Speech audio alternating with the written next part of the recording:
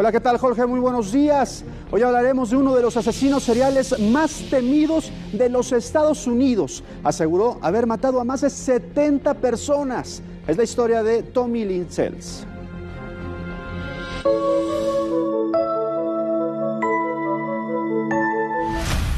Tommy Lynn Sells nació en junio de 1964 en los Estados Unidos.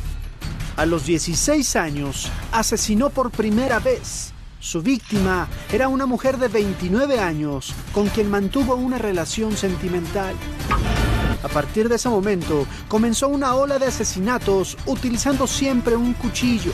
Para 1999, este sujeto confesó haber matado a más de 70 personas niños, mujeres y hombres. Su último crimen sucedió en diciembre de ese año, cuando atacó a dos niñas. Por fortuna, una de las pequeñas sobrevivió a la agresión y logró pedir ayuda. Así, Tommy Linsells fue detenido y condenado a pena de muerte. No estaba jugando a Dios. Tommy no es un Dios. Tommy es un sujeto muy complejo, muy confundido. Este asesino pasó más de 15 años en el corredor de la muerte, un tiempo que según sus declaraciones era su peor castigo.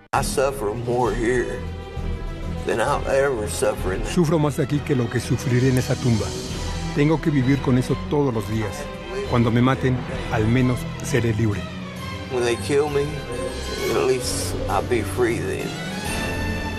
Finalmente fue ejecutado el 3 de abril de 2014 por medio de una inyección letal. Según los especialistas, este sujeto sufrió de múltiples abusos cuando era un niño y fue abandonado, lo que al parecer eh, generó un gran resentimiento hasta convertirse en un asesino serial. Jorge es la historia de este martes.